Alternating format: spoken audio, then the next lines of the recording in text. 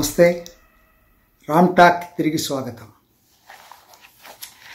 GHMC ఎన్నికల్లో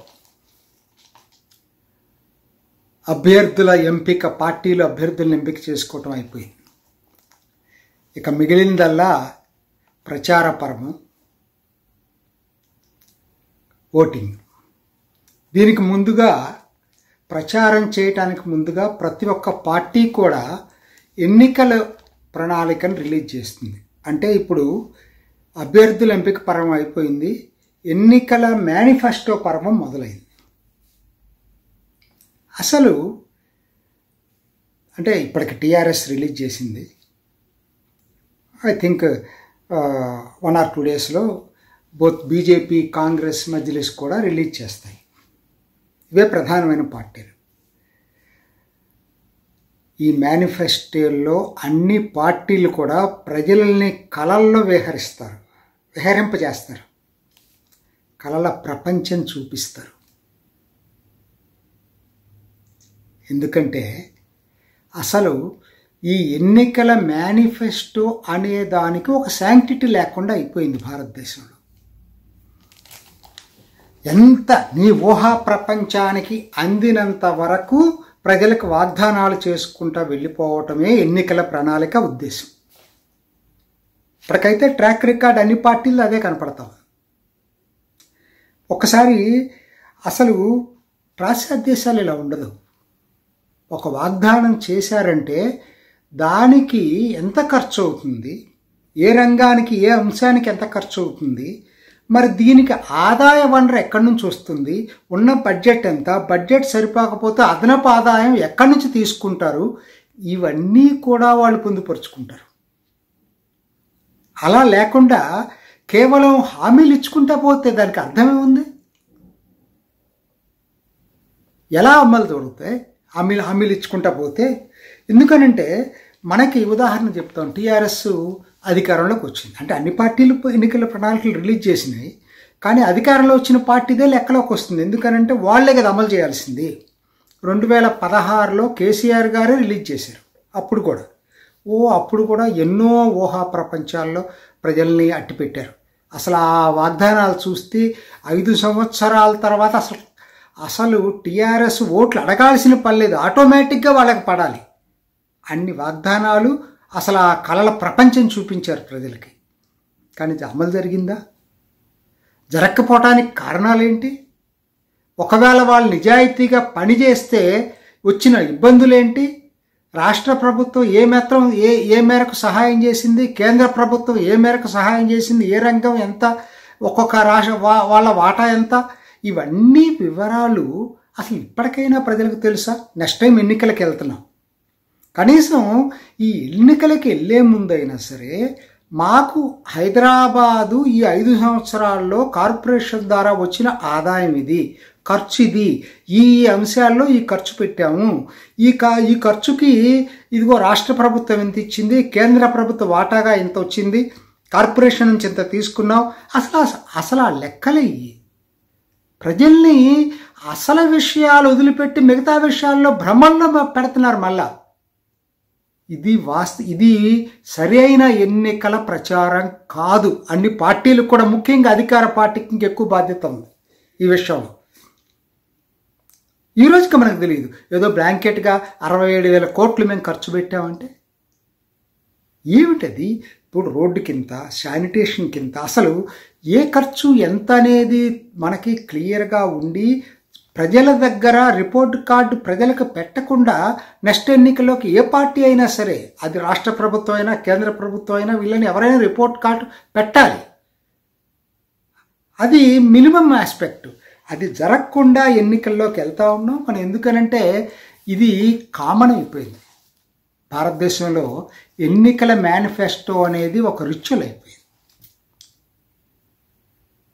నేను ఎందుకు చెప్తున్నానంటే ఇప్పుడు ఇటీవలే అమెరికాలో ఎన్నికలు జరిగినాయి.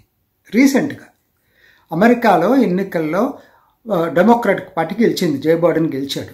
కానీ ఆయన గెలవక ముందు కొన్ని వాగ్దానాలు చేశాడు. అయితే ఆ వాగ్దానాలకి డబ్బులు ఎక్కడి నుంచి వస్తాయో కూడా చెప్పాడు. ఎలా తీసుకురావాలనుకుంటున్నాం? ఎవరి మీద పనులు వేయదలుచుకుంటున్నాం?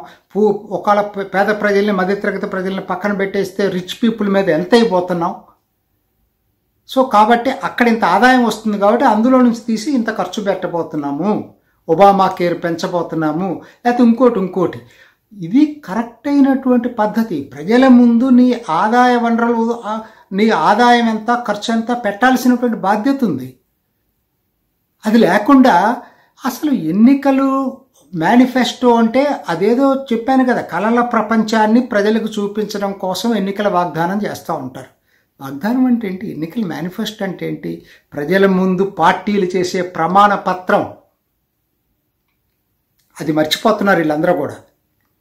ఎందుకంటే జవాబుదారితనం లేదు. ఉదాహరణకి కేసీఆర్ గారే నిన్న రిలీజ్ చేస్తే నేను ఆశ్చర్యపోయాను. కనీసం ఆయన పాత దాంట్లో మేము ఎందుకు చేయలేకపోయాం? లేకపోతే ఏం చేశాం? ఏం చేయలేకపోయాం? కారణాలు ఏంటి సతే ప్రజలు అర్థం చేసుకుంటారు. ప్రజలంత అమాయకులు కాదు. నువ్వు నిజంగా నిజమైన కారణాలు ఉన్నప్పుడు అవే చెప్తే ప్రజలు అర్థం చేసుకుంటారు. అసలు ఈ టైప్ ఆఫ్ కప్పిపుచ్చటాలు అనేది మాత్రం మంచిది కాదు. సరే ఇప్పుడు అసలు ఏం చేద్దాం? ఇప్పుడు ఇప్పుడు ఈ ఎన్నికల వాగ్దానాలు ఇప్పటికైనా సరే ఈ పద్ధతుల్లో పార్టీలు పనిచేస్తాయా? హామీలు ఇస్తున్నారు. విపరీతమైన హామీలు గు గుప్పేస్తున్నారు. ఇప్పుడు టీఆర్ఎస్ వచ్చినాయి రేపొద్దున మిగతా పార్టీలు కూడా వస్తాయి. దాంట్లో అనుమానం లేదు. కాకపోతే ప్రజలు అడగాల్సిన సం పాయింట్ ఏంటంటే వీటికి డబ్బులు ఎలా సమకూర్చబోతున్నారు? అసలు జిహెచ్ఎంసి ఆదాయం ఎంత? అందులో జీతపత్యాలకు ఖర్చు ఎంత పోతా ఉంది? అసలు అభివృద్ధి పనులకు మిగతా ఎంత మిగులుతూ ఉంది? దీని మీద ఎలా ఖర్చు చేయబోతున్నారు? Way of the transparency. పారదర్శకత ఉండాలి ఖర్చుల్లో. అంతేగాని వాటాలు వేసుకొని కార్పొరేటర్లు లేకపోతే స్టాండింగ్ కమిటీ మెంబర్లు కలిసి పంచుకోవటానికి కాదు కదా ఈ డబ్బులు. అసలు మాకు అర్థం కాని ఏంటంటే హామీల మీద హామీలు సబ్సిడీలు విపరీతంగా ఇచ్చేస్తున్నారు. వీటికి డబ్బులు ఎవరు ఇవ్వబోతున్నారు? జిహెచ్ఎంసీఏ మొత్తం బేర్ చేసుకునే పరిస్థితి ఉండదు కదా. రాష్ట్ర ప్రభుత్వం ఏదైతే హామీలు రాష్ట్ర కేసీఆర్ గారే ఇస్తున్నారు మరి ఆ హామీలకి ఏదన్నా రాష్ట్ర ప్రభుత్వం ఆ మేరకు జిహెచ్ఎంసీకి ఇవ్వడానికి సిద్ధపడినట్టుగా ఒక డాక్యుమెంట్ రిలీజ్ చేస్తే బెటర్. అలా చేయకుండా ఎన్నికలకు వెళ్ళటం అనేది ఇది సరే సరైనటువంటి పద్ధతి కాదు. ఇప్పటికైనా భారతదేశంలో ఈ ఎన్నికల మేనిఫెస్టోల్ని మార్చుకోవాలి. బాధ్యతాయుతమైనటువంటి మేనిఫెస్టోల్ని రిలీజ్ చేయాలి పార్టీలు. ఏదైతే అమలు చేయగలరో వచ్చే ఐదు సంవత్సరాల్లో వాటినే ప్రజల ముందు పెట్టాలి. లేకపోతే దానికి ఏదైనా అకౌంటబిలిటీ కను కనుక్కోవాలి ఒక సిస్టమ్ తయారు చేసుకోవాలి. ఆర్థికవేత్తలు చెప్తున్నారు. మీరు కేవలం రాష్ట్ర ప్రభుత్వం ఇచ్చే డబ్బులతోనో లేకపోతే ఇప్పుడున్నటువంటి వనరులతోనే కార్పొరేషను లేకపోతే కేంద్ర ప్రభుత్వం వచ్చే వాటాతో నడపడం కష్టం మీరు కూడా ఆదాయ వనరులను పెంచుకోండి అని చెప్తున్నారు. పెంచుకోకపోగా ఉన్న ఆదాయాన్ని తగ్గించుకునేటువంటి మార్గాలు ఎన్నికల ముందు ప్రజల ముందు పెడుతున్నారు. ఎందుకంటే పాపులిజం. ప్రతి పార్టీ చేసే పని ఇది. పాపులిజం ఆస్తి పన్ను తగ్గిస్తారట.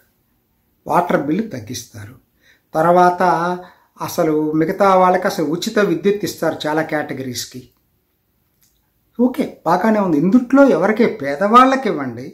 లేకపోతే ఇంకా మిగతా వాళ్ళకి ఒక సంవత్సరానికి కోవిడ్ వచ్చింది కాబట్టి ఈ సంవత్సరం ఇవ్వండి. ఐదు సంవత్సరాలు అందరికి ఇస్తున్నాం అనటంలో దానికి పూ లోటుగా లోటు వచ్చే ఆదాయాన్ని ఎక్కడ పూడుస్తున్నారో చెప్పాలి కదా? ఇప్పటికన్నా ఖర్చులు పెరిగితే తప్పితే తగ్గవు కదా.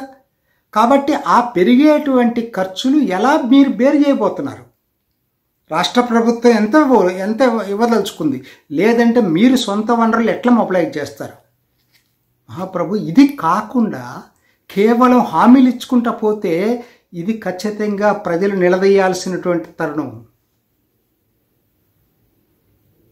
అసలు ఇదేంటండి? తగ్గి తగ్గించుకోవటం ఆస్తి పన్ను తగ్గించుకోవటం అంటే మీరు కావాలంటే ఇదిగో అదివరకే ఉంది కదా. ఒక్క ఇన్ని జా చదరపు గజాల స్థలంలో ఉన్న పేద కుటుంబాలకి ఆస్తి పన్ను మినహాయింపు ఇవ్వండి మిగతా వాళ్ళకి తగ్గించడం అనేది నా దృష్టిలో తిరోగమన చర్య. రిగ్రెసివ్ స్టెప్ ఇది. ఖచ్చితంగా పెంచుకోవాల్సిన అవసరం తగ్గించాల్సిన. అయితే పెంచడం అనేది కూడా మీరు ఎట్లా ప్రోగ్రెసివ్గా చేయాలి? పెద్ద పెద్ద విల్లాలు భవనాలు ఉన్న వాళ్ళకి వాస్తవంగా ఇవాళ హైదరాబాద్లో ఎంతెంత వసూలు చేస్తున్నారండి? ఆదాయాన్ని పెంచుకోవడానికి అక్కడ మార్గాలు మీరు చూడాలా? రిచ్ పీపుల్ హైదరాబాద్లో పర్సంటేజ్ వైజ్ చూసుకుంటే బాంబే ఢిల్లీ పెద్ద నగరాలు కావచ్చు. పర్సంటేజ్ వైజ్ చూసుకుంటే హైదరాబాద్లో రిచ్ పీపుల్ దేశం మొత్తం మీద సెటిల్ అయినటువంటి రిచ్ పీపుల్ యొక్క సంఖ్య చాలా ఎక్కువగా ఉంది. వాళ్ళందరి దగ్గర మీరు వాళ్ళ భవనాలు చూడండి వాళ్ళకి వేసేటువంటి ఆస్తి పన్ను చూడండి. తిరిగి మదింపు చేయండి. సరైనటువంటి ఆస్తిపరుని చేయండి. అట్లానే అవినీతి చేస్తున్నటువంటి జీహెచ్ఎంసీ ఉద్యోగస్తుల మీద అయినా సరే చర్యలు తీసుకోండి. ఎందుకంటే ఇన్ని అక్రమ కట్టడాలు ఉన్నాయని చెప్తున్నారు. అక్రమ కట్టడాలు ఎట్లా జరుగుతాయండి? రాజకీయ నాయకులు ఉద్యోగస్తులు కలిసి దీన్ని చేసి ఉండకపోతే ఈ అక్రమ కట్టడాలు ఎక్కడి నుంచి వచ్చినాయి? ఇప్పుడు కూలుస్తూ ఉంటున్నారు. అసలు వాళ్ళ మీద ఏం చర్య తీసుకుంటున్నారు? చట్టాలు సరిగ్గా లేకపోతే చట్టాలు చేయండి. కఠిన చట్టాలు. వాళ్ళ మీద యాక్షన్ తీసుకోండి. అలానే అక్రమ కట్టడాలను ఇప్పటికైనా సరే దాని మీద ఒక విధానం తీసుకోండి. అసలు ఇవన్నీ లేకుండా అసలు ఇవన్నీ మాట్లాడరు.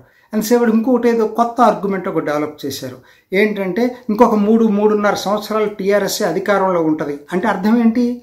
అంటే అధికార పార్టీలో ఎవరుంటే వాళ్ళనే ఎన్నుకోవాలా? ఇదే ప్ర ఇదే బీజేపీ కూడా కొన్ని రాష్ట్రాల్లో చేసింది. ఏంటంటే మేము కేంద్రంలో అధికారంలో ఉన్నాం మా రాష్ట్రానికి రాష్ట్రం కూడా మమ్మల్ని ఎన్నుకోండి. నేనైతే ఈ ఆర్గ్యుమెంట్స్ అన్నిటినీ తప్పుగా చెప్తున్నాను ఖండిస్తున్నాను తీవ్రంగా ఖండిస్తున్నాను ఎందుకంటే అసలు దానికి ఇంకా ఎన్నికలకు అర్థం ఏంటి? నువ్వు రాష్ట్ర ప్రభుత్వానికి కేంద్రం ఇవ్వాల్సిన వాటా ఇవ్వండి. పార్టీలతో సంబంధం ఉండకూడదు. ఎవరు గెలిచినా కూడా. అట్లానే స్థానిక ప్రభుత్వం స్థానిక సంస్థలో జిహెచ్ఎంసీలో ఎవరు గెలిచినా కూడా రాష్ట్ర ప్రభుత్వం దాని సపోర్ట్ ఇవ్వాలి.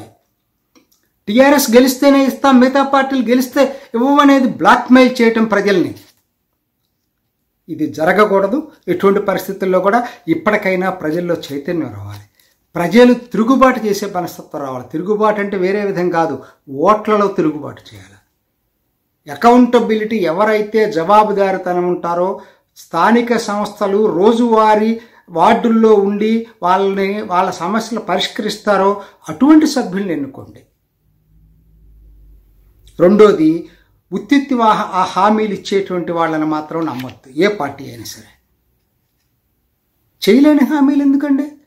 నీకున్న ఆదాయం ఎంత నువ్వు ఇచ్చే హామీలు ఏంటి సో ఇవన్నీ దృష్టిలో పెట్టుకొని ఎన్నికల ప్రణాళిక అనేది ఎలక్షన్ మేనిఫెస్టో అనేది ఒక శాంక్టిటీ ఉండాలి ఒక పవిత్రత ఉండాలా?